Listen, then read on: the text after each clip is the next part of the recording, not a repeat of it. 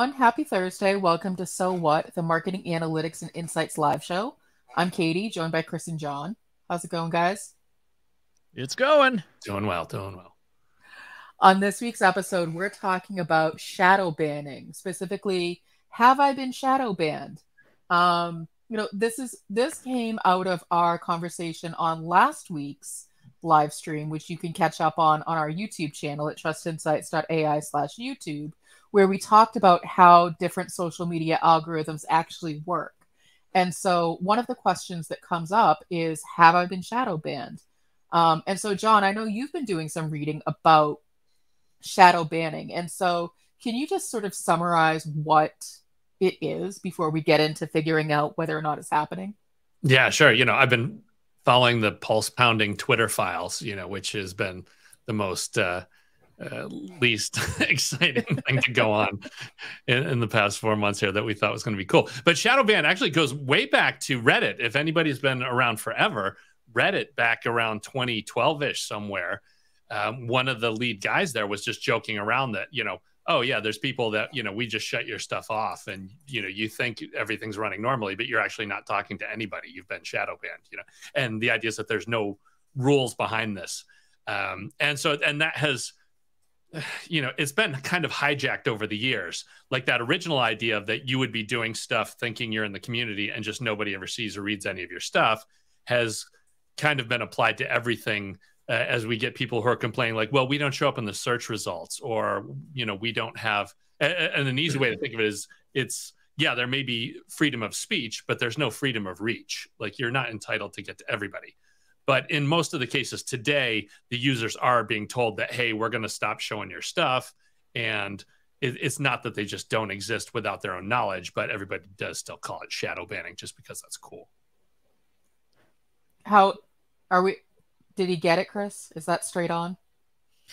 It is. It is. The the challenge is to what John is saying, there's there's actually being acted against by the network, and mm-hmm. then there's your your content just sucks and nobody likes it. Well, and I'm guessing uh, that you know Twitter or TikTok or whoever never says, "Hey, by the way, you've been shadow banned." Like it's just this illusion of, well, nobody's engaging with my stuff. Like I see this on TikTok every once in a while where somebody will post something which almost feels kind of clickbaity of i think i've been hmm. shadow banned. Please engage with my stuff to know if this is happening. And i'm like uh, but I, I feel like you're you're manipulating me. You're making me feel bad because you're showing me cute videos of your puppy but you're just looking for engagement numbers. Hmm And it's interesting, um, not to drag a politics into this, but yesterday at the uh, House testimony, uh, Oversight Committee testimony, um, one of the things that was discussed was former Twitter executives were were testifying about how Twitter worked, and in that testimony, we won't go into uh, the the political side of it, but in that testimony, Twitter executives said, "Oh, actually, it's the opposite. We have to we had to make numerous exceptions to our our trust and safety rules to allow certain people who would otherwise have been." You know uh, penalized in some way to to continue saying what they were wanted to say. And so it, there's a lot of utility you know utilities and things out there that uh, claim to help you detect it whether you're shadow banned or not. The twitter rules uh, and, and, this is true of all these social networks the, the the networks publish like what happens to you if you if you disobey the rules. Like some things, like it says pretty clearly here, if you violate certain rules, your immediate permanent suspension of the account. By you're gone. Right. Mm-hmm. Others like uh, requiring to remove the offending tweets or temporarily limiting your ability to post new tweets. And again, check the terms of service for Instagram and TikTok and all these companies. They tell you here's what's going to happen if you if you break the rules. And it's interesting. None of them mention we're going to reduce your reach. Now, when Twitter had its little management change last October. Um, the new owner did talk about, uh, you know, uh, we're gonna we're gonna tell you you've been shadow banned or not and stuff, but it's it's noteworthy that that has not happened. Mm-hmm. Um, there has been no disclosure of that, even though new management's been in place now for what four months, uh, five months now. It's likely because it doesn't actually exist. So, you know, what's interesting too, though, is um, I also see the term shadow ban a lot in Facebook groups where there's a moderator and someone will, you know, a member will say something like, I don't know why my post was removed. You know, can the admin reach out to me to tell me? Um, or have I been shadow banned by the admin? When, you know, sometimes people accidentally hit delete, or, you know, to what you guys are saying, your content wasn't that good and nobody cares. Yep, exactly. Um, the other thing that this goes back to last week's show that people don't realize is that all of these social networks are these graph neural networks that we talked about last week, which means that your content and your being able to be seen varies from day to day based on your position within the network. So I'm going to bring up a, a very simple, simplified example. This is from the Marketing Profs B2B Forum, one of our favorite conferences we were at last year. Um, and what I've done is I've, I've, I basically made a map of who is tweeting, you know, at or, you know, about other people. The bigger your circle is, obviously, the more you get tweeted at. But the colors on here are essentially neighborhoods, right? These are the people that you associate with most. And so, you know, for example, we see me, Trust Insights, Katie Robbert, and John Wall, all in that bright blue color, um, which pretty clearly indicates we talk to each other, right? Mm-hmm. In a graph neural network, these associations are being monitored all the time. And that means that if it's going to recommend your content to somebody, guess who it's going to recommend it to? It's going to recommend it to the people who are nearest to you in the network, who are the most likely to engage with it, because the networks want engagement. They want you to stay glued to the, the, the feed. They want you to consume more ads. Um, and so Nancy Harhut over here in the bright orange, she's pretty far away from me in this example graph. So the, if this was a social network, the algorithm probably would not recommend my content to Nancy all that often right? Because she's so far away from me in in engagement. Yeah, I know that's disappointing because Nancy is hardcore, you know, marketing stats and analytics. Of course, psychology slant on that, I guess. So it's a, it's a different crowd, and she just has her own community. Um, but that doesn't mean that you've been shadow banned. It just means that mathematically, you're not going to show up in her feed. And so I guess I guess one of one of my first questions for you, and I this might be a rhetorical question, is you know, are people essentially crying wolf when they're saying I've been shadow banned? The answer is a, a, a maybe. And here's the easiest way to, to answer that question. Go to your own analytics, right? So here's the Trust mm-hmm. Insights uh, analytics account, uh, Twitter account, right? And look at your our engagement. And is our engagement unusual in in some fashion, right? Is it is it up or is it down? Is it you know what's going on with it? Um, you can uh, export all this data and make like really big uh, charts versions of this chart. Uh, here's what Trust Insights looks like since 2018 when we started our Twitter account. Our engagement rate there are periods here where our engagement is definitely lower, periods where it's, higher, but at no point does it go to zero. If I would, if if we uh, were truly, you know, shadow banned, you would expect to see. Uh, let me pull up a, a different example. This is the marketing over coffee Twitter account. Um, you can see there's a great big gap here where there's no engagement at all. Now that's because we weren't tweeting. John. Yeah, this is a very depressing graph overall. well, no, no, it, I mean, you can see it's not like, you know, last month. You're talking 2010 to 2018. Uh, My account, quite honestly, would look very similar. I think I stood up my account in 2010 ish, but didn't really start making it active until, you know, Trust Insights. Yeah, that's totally us doing the placeholder there. exactly. So you can see pretty clearly that you, if Marketing Coffee account had been shadow banned for, in this case, years, that's what it would look like. You would say like, oh, mm-hmm. look, our our engagement is nothing. No one's seeing our stuff. We're we're you know we're we're just in a vacuum. Um, here's well, Katie's account. You know, this oh, is you, you did pull mine. yeah. Um, there's you could see you know nothing nothing nothing nothing. Selling 2018 so we start trust insights. Okay is like all right fine i guess i got a tweet. But again but this doesn't tell you maybe i was just posting really crappy content for 10 years. That's i mean and that's the thing like that's what this is missing. Like we can make assumptions, but it doesn't actually because good content is subjective. And so maybe all I was doing was live tweeting bad Lifetime movies and nobody cared. Maybe it was just so terrible that nobody cared. Or maybe I was just telling people the kind of cereal I was eating for breakfast that morning. Exactly. And so the this is what it would look like if your account had some kind of suppression on it, right? That, that those big gulfs of just no engagement whatsoever. Your content's not being seen. Nobody knows it's there um, and and and nothing's happening. Now it's it's very interesting to look. You know, Katie's engagement rate has actually gone really, really well in the last four years. Uh, so Katie is a champion social media manager. Woo!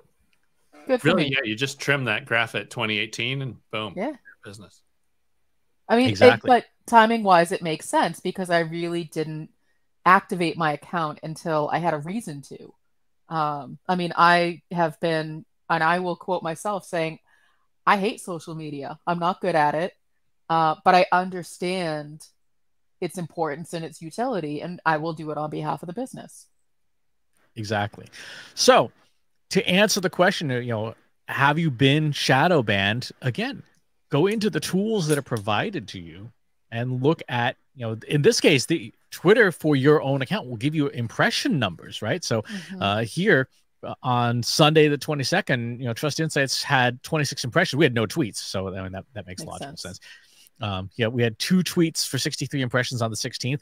We had um, no tweets on Friday the 27th, but we had a lot of engagement because of other stuff was going on at the time. Mm-hmm. Um, so that's that's how to tell to tell if you if you're tweeting and you're getting no impressions, you you might have been shadow banned, which means that you don't have have any reach. But this is uh, apologies, but this is just Twitter. Like TikTok doesn't have great analytics. LinkedIn doesn't have great analytics. And so, you know, how do you find out in a different context? Like, so, you know, Twitter has this analytics.twitter.com that uh, you can tie to your account and find out pretty quickly. But what about other platforms? Like, are you still just guessing, or is there a way to find out? Oh, there's absolutely ways to find out, uh, particularly if you are a creator on those platforms. So a lot of platforms have uh, not just um, individual uh, analytics, but if you're a creator, you get extra stuff. So, for example, here on LinkedIn, uh, LinkedIn, if you turn on creator mode, now you can look at your content performance. So let's look at the last 90 days. Uh, and this is impressions, right? So is, is my content being shown to people? Mm-hmm. Um, and and you know some sometimes it is sometimes it isn't at no point does this graph flatline you know like a, a cardiac patient going into arrhythmia it, it's pretty clearly I'm I'm being seen. Uh, you can look look at your engagements too to see if if your content is landing with people, right? So there were definitely mm-hmm. periods of time here, like in November, where my content just didn't land. Mm. Um, was I shadow banned? No, I was putting out content nobody liked. well, okay, so it sounds like step one: have I been shadow banned? Uh, you need to look at your analytics from that particular platform to see, like, uh, did I put out crappy content or have I really been getting, you know, zero reach and engagement, zero impressions, zero engagement, but I've been posting like crazy? That probably means that you've been shadow banned for whatever reason. However, if you're still seeing a little bit of uh, activity, then that means that you probably need to double check if you're posting the right stuff to the right people. Mm-hmm. Exactly, and and I think that it's it's that simple. Now, I guess the next logical question is how do you, if if you're not getting engagement, regardless of being banned or not, right? What do you do to fix it? Oh, I mean, that's that's the, that's the million dollar question. Um, you know, what I would do is I would start to run some tests of different kinds of content. Um, you know, I would say like, do people engage more uh, with videos or do people engage more with polls? You know, if I keep it really simple to a basic question like pineapple on pizza, our our old standby, are people going to engage with it? And I feel like those kinds of tests will start to tell you. I'm sure there's a way to look at your analytics to determine how to test, but my that's what my gut would tell me to do. John, how about you? Yeah, you can totally do the uh, you know, post a great picture of your dog and boy, I think green is a terrible color. What do you think? You know, you can do stuff like that that just generates and spins all kinds of stuff.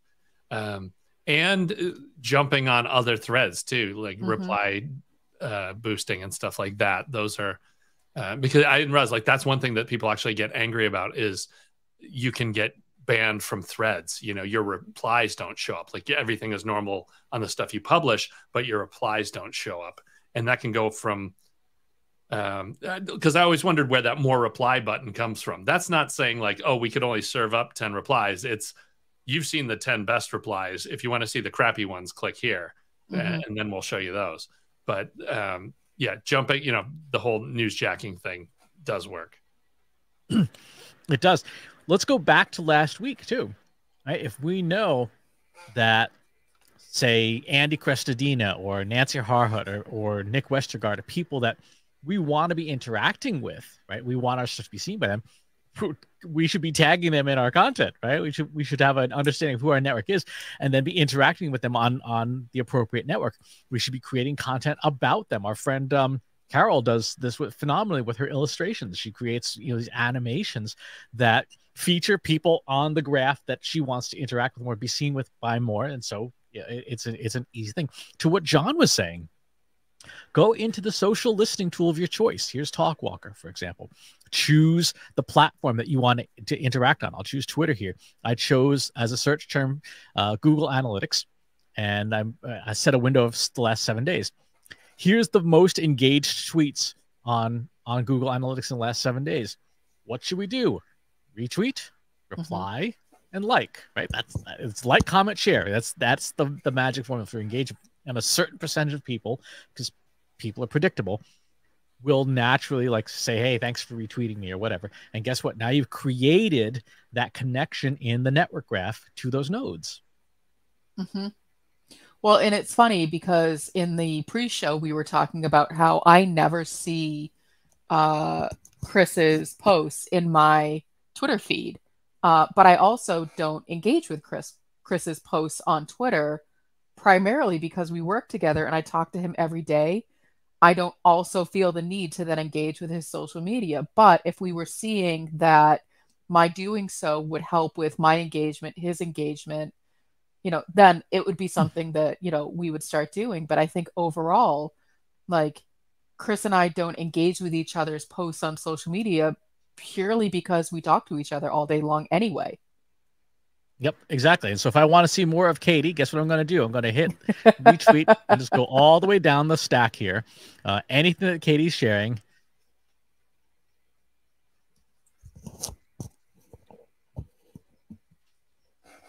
Right? Doesn't even know what he's replying to. I have no idea. Read an article. Oh, that's exactly. Fantastic. you know, here's a Oopsie. it's true that that did happen. and now, what are we doing? We are feeding the mm-hmm. network, right? We are telling the network this person is important. This media is important. I want to see more of it. Um, some networks will even let you specify that. Um, Instagram and Facebook, in particular, say, you know, show these people 1st mm-hmm. um, and so, if there are, if you're in sales, uh, if you're in uh, business development, guess what? Your top 50 prospects should be in that list. Right? And I mm-hmm. always want to see John Wall's posts first. And that way, that way I remember like, comment, share everything that John puts out that you know, within reason. Uh, like if it's a picture of like John's, you know, plumbing work over the weekend, I'm like, uh, I don't know if I want to like that toilet, but. well, and so, you know, Facebook does that too. And so it will ask you, do you want to see more or less posts like this or more or less from this person? And so I think what we're coming to is, you know, you, you know, the term shadow ban, like anything else, is sort of tossed around very loosely without a really good understanding of what it really means. And so I think that, you know, posters and creators on social media will use it in a way to sort of like manipulation's the wrong word, but like they'll sort of use it to try to get more engagement. Like, hey, you know, I think I've been shadow banned. Can you engage with this to see if it's really true? And they're probably just trying to be like, hey, here's a great way to get people to pay attention. Or, you know, so you really don't really know. So I would say, you know, buyer beware. If you see people posting like that, they may just be looking to boost their numbers. Uh, someone who's really shadow banned, you wouldn't see their post, period. And so that's sort of like the gut check of, well, they're saying they've been shadow banned, but I'm still seeing their stuff. Exactly. Social networks, and this is the part that drives me crazy about people. Social networks do not have an incentive to have quiet users. They have an incentive mm-hmm. to have loud users, noisy people, controversial people, because that's what keeps people coming back. And that's what lets them show more ads, right? If nobody's mm-hmm. posting, then you have less inventory to show ads on. You know, I, I, John was pointing out before the show there, there's this rumor that Twitter is going to limit people who are not you know, verified members to seven t- tweets a day. That is not in Twitter's economic interest to make money, right? Twitter mm-hmm. wants you to be verbose because A, that's how you serve inventory. And B, we know from the uh, new management's tweets that they measure activity like, hey, we had more tweets than ever, right? Uh-huh. You know, uh-huh. very simplistic me- uh, measures, but it tells you where that person's head is. Um, and a doctor in a flashlight will help you find it.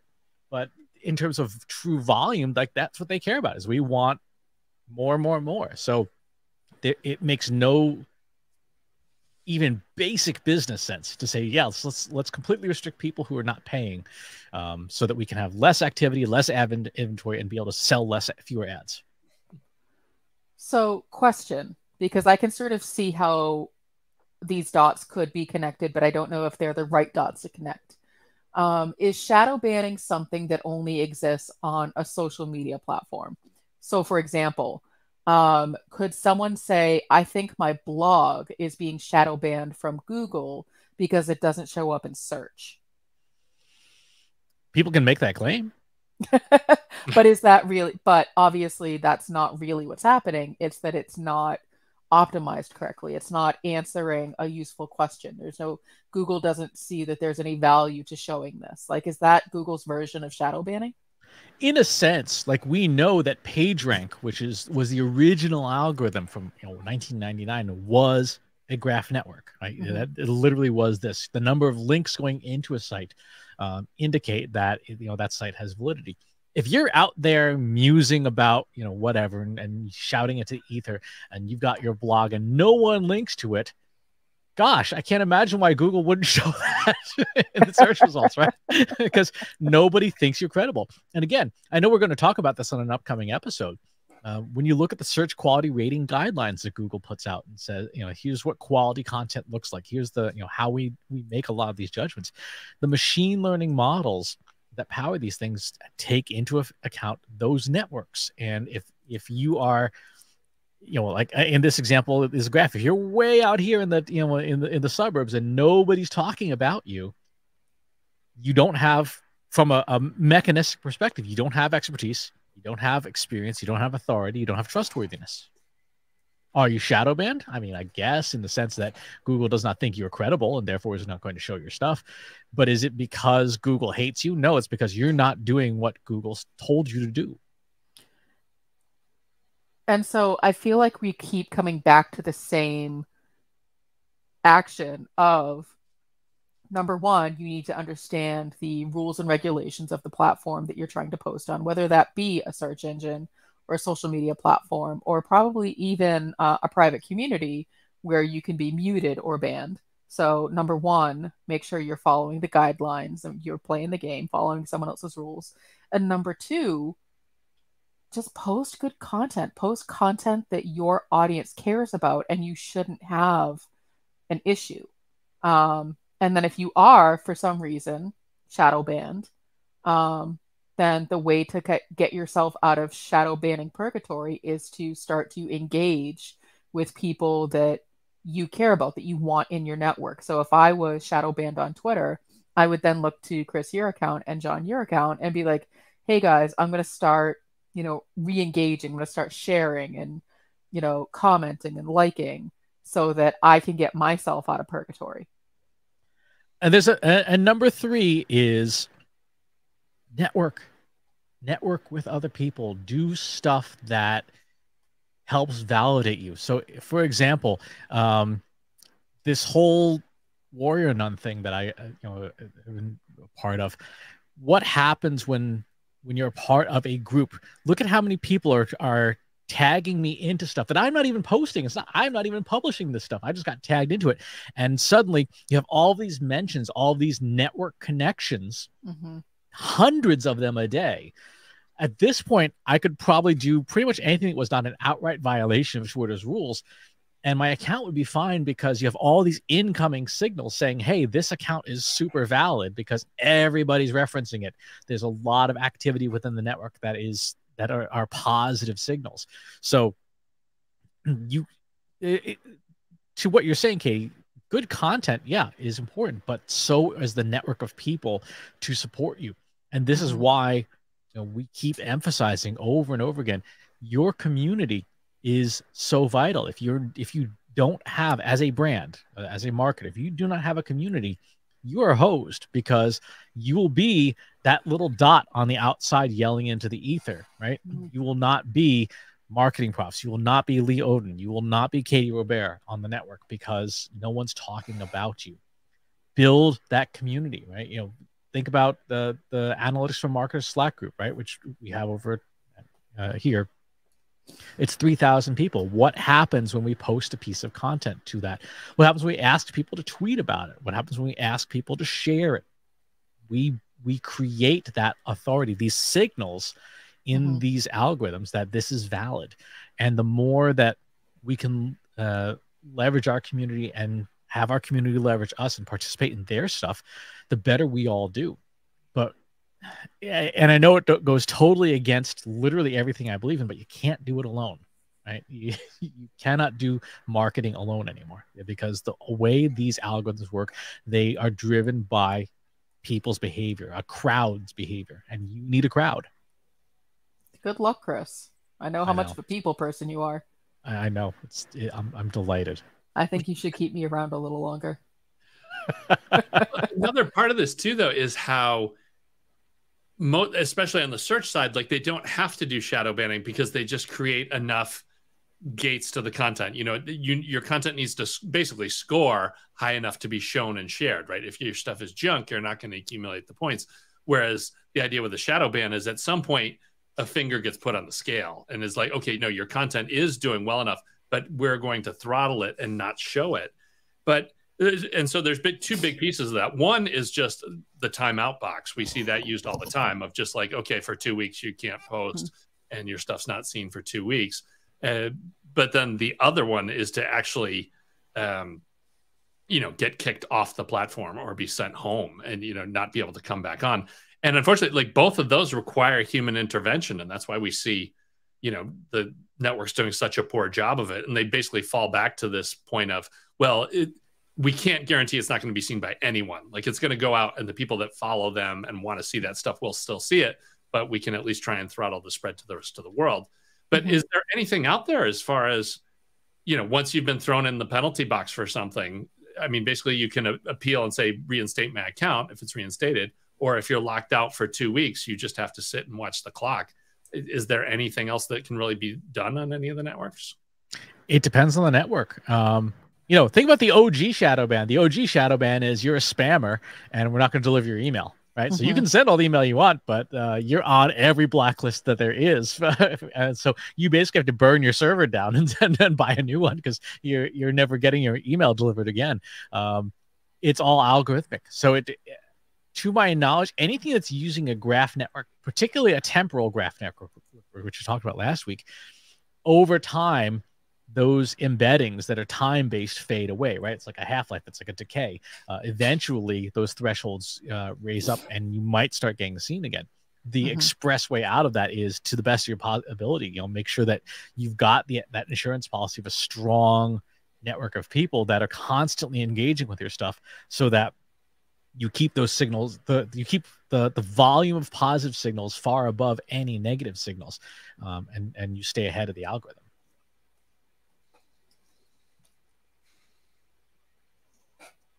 Well, I mean, I think I think that kind of covers it. I mean, the the big takeaways are you can look at your analytics to understand if you've been shadow banned.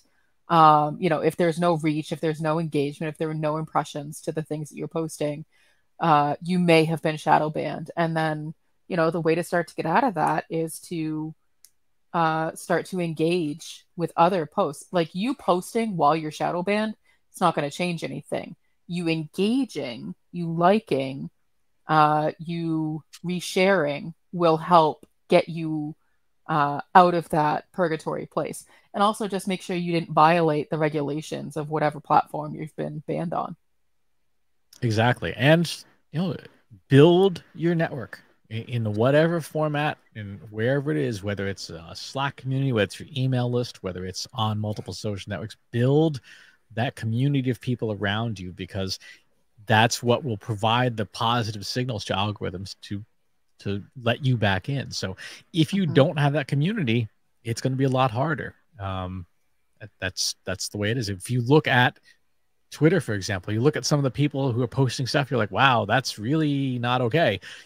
But you look at the metrics on their posts, you know, hundreds of thousands of likes and tens of thousands of retweets. Like, oh, well, clearly mm-hmm. they have their network, and that network acts as a, you know a, a protection against their account just getting canned, even though they're you know saying ridiculous things like the Earth is square and flat instead of round and a sphere. Like, well, apparently you've got enough people to agree with you that that um, the the logic of the network of the algorithm overrules basic common sense and reality. Well, you can't fix stupid. You sure can, but you can monetize the daylights out of it. Thanks for tuning in this week. we will see you all next time. Thanks for watching today. Be sure to subscribe to our show wherever you're watching it. For more resources and to learn more, check out the Trust Insights podcast at trustinsights.ai slash TI podcast and a weekly email newsletter at trustinsights.ai slash newsletter. Got questions about what you saw in today's episode? Join our free Analytics for Marketers Slack group at trustinsights.ai slash analytics for marketers. See you next time.